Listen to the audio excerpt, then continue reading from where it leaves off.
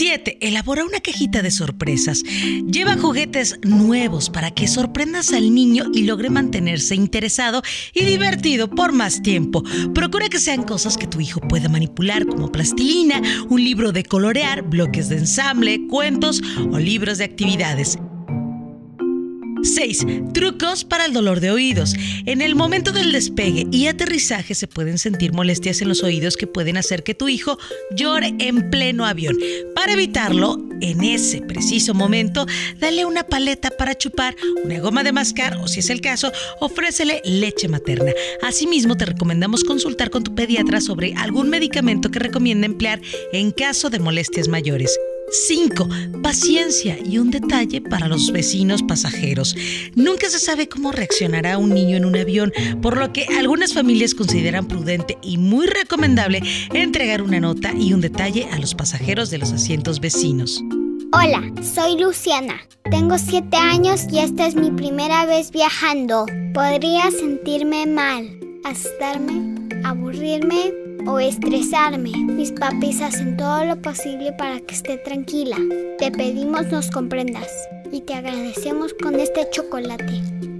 4. Lleva botanas. No querrás que el hambre sea algo que inquiete a tu pequeño, así que no te detengas y trata de llevar alimentos sencillos como sándwich, galletitas y algunas golosinas del gusto de tu niño. Recuerda que los niños comen con más frecuencia que los adultos, así que más vale ir preparados. 3. Descarga películas y juegos. Prepara tu celular o tableta con aplicaciones o videos que no requieran de internet.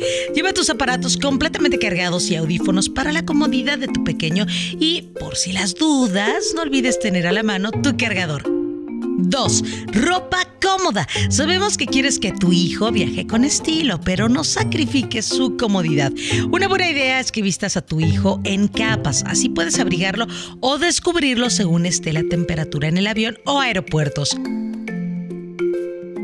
1. Cargador ergonómico. Si tu vuelo tiene escalas, llevar a tu bebé en una mochila ergonómica será muy práctico para desplazarte en el aeropuerto y tener libres las manos. Además, de esta manera tu bebé se sentirá más seguro en un espacio tan grande y lleno de gente. No olvides los básicos, una cobija, sabanitas o una pequeña almohadita para hacer más cómodo el viaje de tu pequeño, un cambio de ropa, pañales si son necesarios y toallas húmedas. También recuerda verificar las reglas de la aerolínea sobre lo que puedes llevar a bordo y cualquier recomendación adicional para cuando se viaja con niños. ¿Y a ti qué trucos te han funcionado al viajar con tus hijos? Soy Romina Valdés.